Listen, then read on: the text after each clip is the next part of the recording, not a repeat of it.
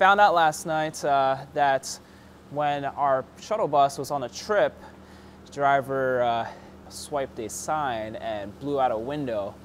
So, you know, just, just challenges of, you know, what we do. But let me go ahead and show you uh, what this looks like and, you know, try to figure out how we're going to get a new, new glass. All right, look at this. Look at this beautiful patch job that I did. I will take credit for actually taping up this window. Yeah, you can kind of see basically the whole inside of this glass is completely blown out. So now we're just gonna have to find a new glass, I guess, you know. Good news is I called our buddies over at Ace Limousine. Uh, asked the guy Andrew, who told me that basically the way to go is to call the manufacturer. So this was built by Turtletop. Um, want to get uh, my business partner El to go reach out to them. Hopefully they can overnight us a glass because we need this thing ASAP. And we'll get it figured out. All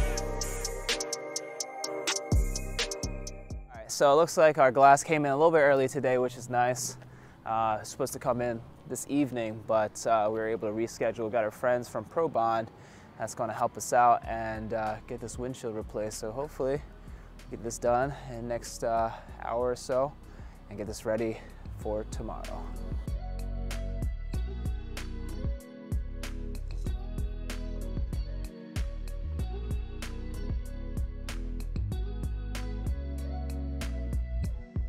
Day three of this shuttle repair. Uh, actually, those glass guys that we had come out, they actually do not do side window repairs. Uh, a little bit more intensive, I guess. You got to remove the framing, you know, remove the screws.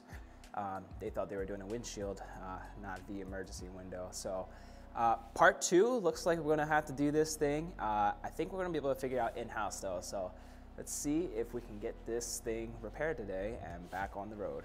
We took out the moldings uh, around the frame right here. Actually we didn't realize yesterday that's all we needed to do which is pull the molding off. And looks like the frame is just held on by screws that go all around. We have this shelving up here. Should be okay because we can get up there kind of get around there take out all the screws and we'll see what happens part-time business owner part-time mechanic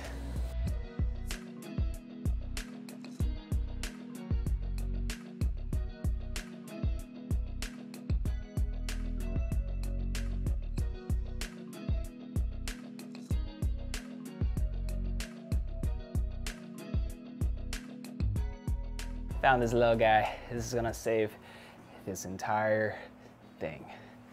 Greatest purchase ever. Let's go. Let's go. We got the window out. There she goes.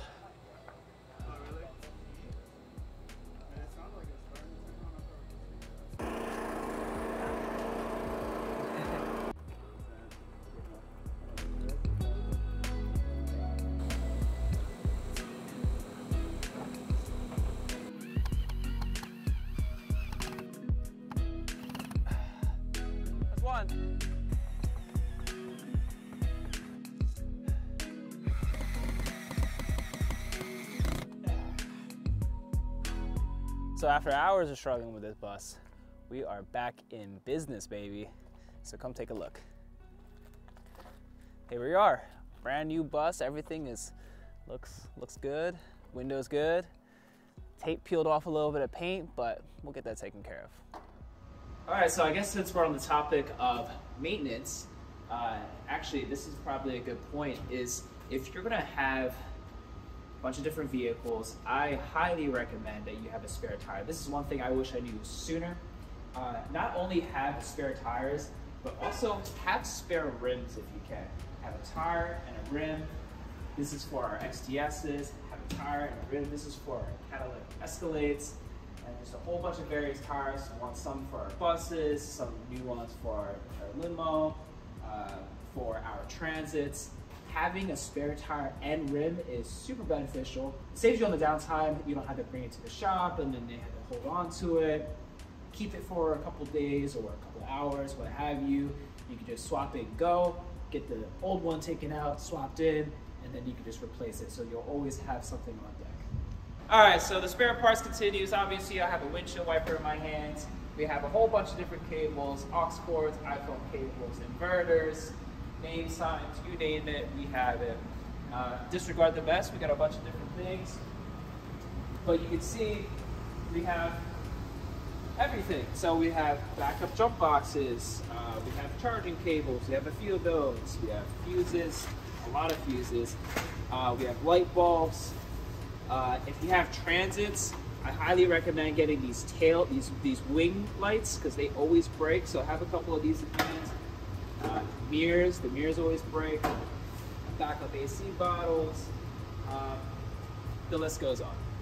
Also, if you're gonna buy anything that's custom built, make sure you know who the builder is. We kind of made the mistake on this party bus here. Uh, this is technically built by Newport Coach but Newport Coach is not in business anymore, so we had issues with the AC, with the electrical. Basically, nobody had any idea what the parts are, so we had to get everything custom, fixed. The electronics, we had to rip everything out, build, put stuff completely new in there. The AC, we had to rip it all down, find the parts, so know what you're buying before you buy it. Knowing common issues with your different vehicles is also a really good idea. For example, if you own an Escalade, know that the struts are probably gonna blow out every 80,000 miles. If you have an XTS, the transmission is probably gonna blow out every 100,000 miles. These common issues, if you know what they are, you'll be a little bit better prepared on knowing what to expect. For example, the Suburbans, expect that those transmissions are gonna go out every 100,000 miles. And while we're on the topic of parts, don't be afraid to buy aftermarket parts. I know some people might be like, don't do that. OEM parts are gonna be a lot more expensive and honestly, they're probably the same quality as the aftermarket parts. For example, our Escalades, when the struts went out about 80,000 miles, we thought we had to get OEM parts and those parts are basically seven to $800 per strut. So after the struts themselves and the labor involved, we were paying about four to $5,000 for each Escalade that we had to repair. Now it happened again, basically another 80,000 miles later, and we decided, okay, let's just go aftermarket. We probably spent $300 per strut instead of $800 per strut, and we're able to get it fixed for half the cost. So don't be afraid to get aftermarket. GM versus aftermarket, probably the same quality to be honest. And the last thing I think is actually the most important thing if you don't have a fleet maintenance software, as you grow, you're definitely gonna need one. We use Fleetio. It's actually recommended by Ron over at Sterling honestly amazing. It helps you maintain and understand exactly when things need to be repaired, what the schedule looks like. You can put your inspections in there, your renewals in there. So Fleetio, if you don't have that, highly, highly recommend it. Also integrates with your gas so you can know exactly how much you're spending in gas per vehicle. And also, if you're not a part of the, Facebook groups, I highly recommend getting in the limo parts group or the limos for sale groups. In there, you'll be able to find a lot of information. If you ever run into issues, you can always ask questions in there. And usually people are very helpful there too. All right, so bus is fixed. Thank you guys for watching. Like and subscribe and uh, reach out to me on Instagram if you have any questions. Always open and looking forward to seeing you guys next time.